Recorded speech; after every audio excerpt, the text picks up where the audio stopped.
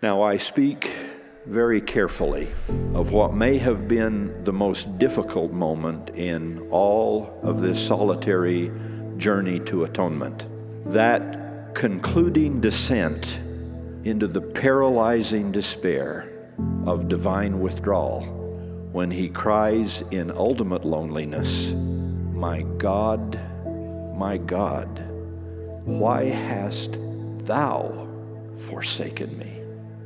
With all the conviction of my soul, I testify that he did please his Father perfectly, and that a perfect Father did not forsake his Son in that hour. Nevertheless, that the supreme sacrifice of his Son might be as complete as it was voluntary and solitary, the Father briefly withdrew from Jesus the comfort of his Spirit. It was required, indeed, it was central to the significance of the atonement, that this perfect Son, who had never spoken ill, nor done wrong, nor touched an unclean thing, he had to know how the rest of humankind would feel when we did commit such sins. For his atonement to be infinite and eternal, he had to feel what it was like to die not only physically, but spiritually.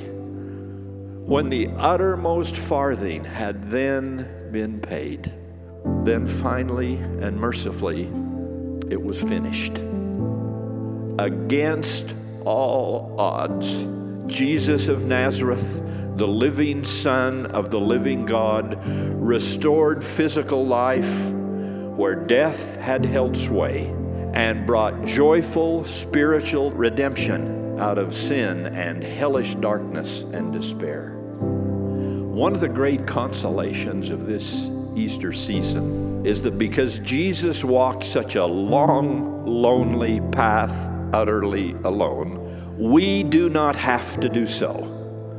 This Easter week and always, may we stand by Jesus Christ at all times and in all things and in all places that we may be in, even until death.